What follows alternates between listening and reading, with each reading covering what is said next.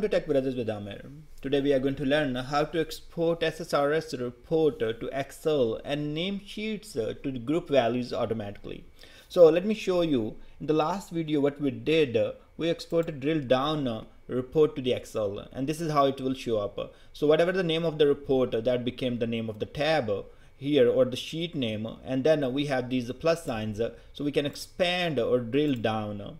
So if we have subgroups you have a further these plus and minus sign you can collapse back or expand them. So we can also click here on these values. So if you click on one and then two you know that's how you can go in detail. So that's quick way to do it. But if you would just uh, like to go for maybe Asia and then uh, countries in Asia you have to come back here and uh, do step by step. But that's great.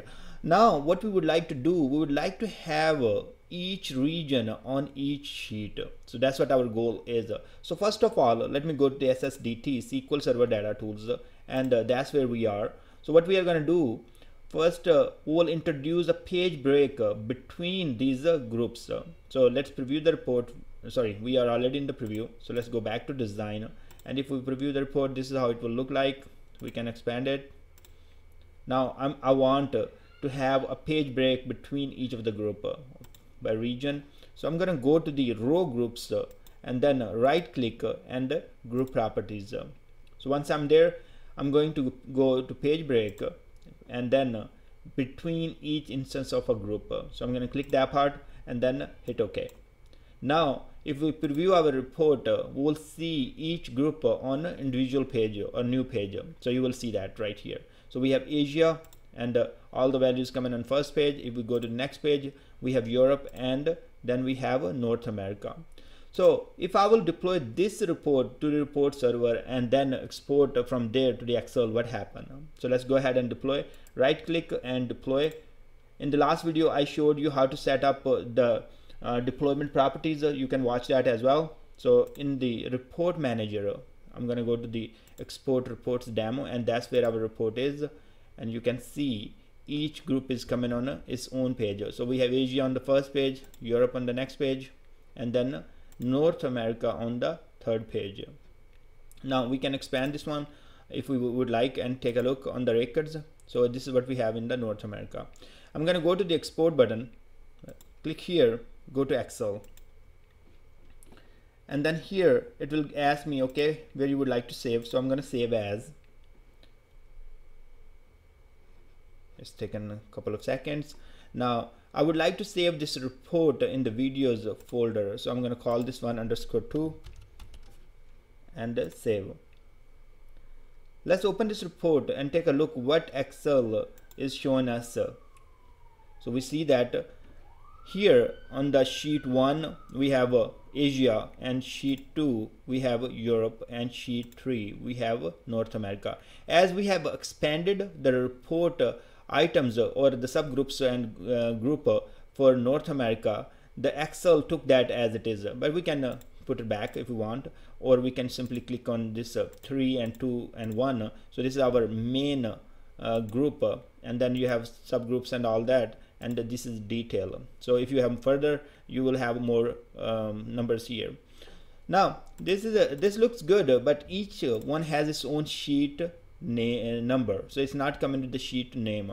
Let's say you have uh, tons of them and you would like to see the sheet uh, name itself like for Asia you would like to see Asia here. For Europe you would like to see Europe here in the sheet name. We can do that. Now one more thing I would like to tell you guys. If uh, you would not have a page break then the the entire report will come on a single sheet. So that's the first step. When you want to uh, have multiple sheets per group you have to have a page break between the groups so let's go back to the ssdt and then make some changes. Go to the design again.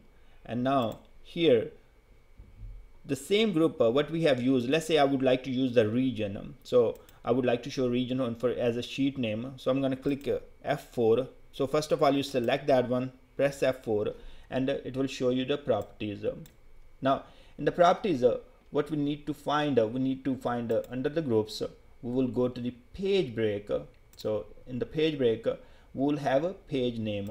So that's where we need to write some expressions. So write uh, hit expression. And here what we would like to see we will go to the fields and I would like to see the region. So I'm going to double click on the region and the dash value is here. So we are all good. Hit OK save your report. Build your project and uh, once uh, you build the project uh, you can go ahead and deploy this report. So now let's go back. Right click on the report deploy to the report for uh, server. We can also export this report from uh, here from the SSDT SQL Server data tools. But I don't really uh, I'm not showing you here because users will be the people who will uh, download these files to different Uh, folders and uh, save these reports. As a developer you will not be really um, saving these. Maybe for test purpose yes you will go to preview and hit export from here and then uh, that will uh, let you export to the any format whatever is available. So we have excel here we can export from here but i will recommend going to the report server. As we have uh, the report go to drill down. Sorry. Go to drill down report preview the report and now you will see there is no difference here we don't see anything changed on this uh, part still we have uh, the um, records by group on each of the page but when we'll export to the uh, Excel, it will bring those uh, region name to the sheet. So let's go back and uh, hit export button and go to Excel. And here we will be saving this report, save as. It's taking a couple of seconds. Go to the, okay, I'm gonna call this one uh, underscore three, save.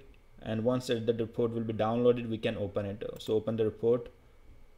And now what you see, you see that Asia, Europe and North America.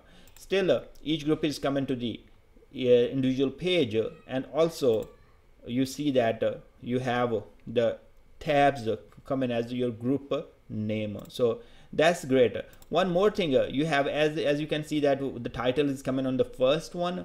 You can also set that to the each page and uh, you would like to go back let's say and then you can go ahead and put uh, this one on each of the page. So that's possible. Uh, I have done that uh, in my um, old videos. You can go ahead and watch those videos and from there you can display the title on each of the page. It's very easy. So thanks very much and this is how you will be creating the sheet names uh, according to the group automatically. So tomorrow if you will have new group uh, in the report you do not have to do anything. Once you export it all the sheets will be named according to the group's value. So thanks very much and i will see you guys in next video